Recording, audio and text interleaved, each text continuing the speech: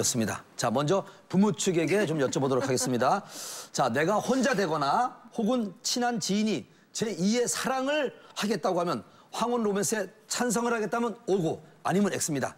자, 황혼 로맨스에 찬성하면 O 아니면 X. 하나, 둘, 아, 셋. 이건 생각할 필요도 없어. 무조건 이거야. 자, 지금 방청객 우리 어머님 X가 세 분, 그리고 두 분이고 지금 찰리박과 우리 김민정 씨도 나뉘었는데 찰리박 씨는 왜 황혼 로맨스를 반대하시는지요? 이제 저 같은 경우는 혼자 예. 된지 8년. 8년 되셨고 이게 너무나 힘들게 고비고비를 넘다 보니까 또 한 번 고비가 또 생겨서 나한테 정신적으로 압박을 받으면서 살아야 될 어, 어. 유통기간이 있는데 우리 인생에도 유통기간이 있는데 또 힘들까봐. 어, 힘들까봐 어, 스스로 포기를 하는 거예요. 아, 그러니까 새로운 이성을 만나서 행복할 수도 있지만 그 사랑으로 더 또 힘든 시간 보낼 수 있을까 봐 걱정이 되니까 X다. 아, 우리 그렇지. 김민정 씨는 왜 O를 드셨는지요?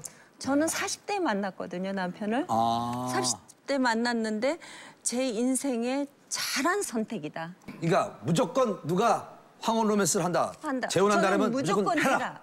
왜냐하면 혼자 늙는 건 너무 안 돼요. 너무 긴 시간을 혼자서 어, 빨리 하세요. 빨리 어. 출발을. 그러니까 빨리 출발할수록 좋은 거고 네. 어, 용기를 내셔야 되고 어. 자기의 행복을 찾을 권리가 있어요. 네, 김숙기 원장님도 황혼 로맨스 찬성을 하셨어요? 네. 네. 과거에는 사실은 우리의 삶이 그렇게 길지 않았거든요.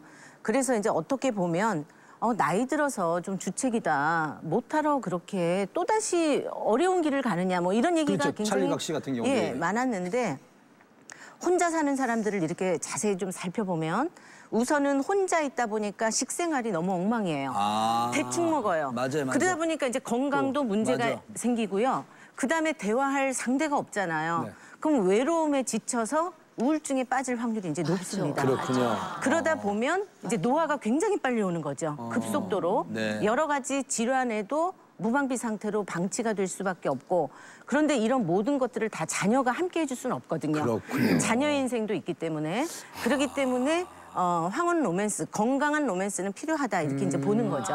자, 부모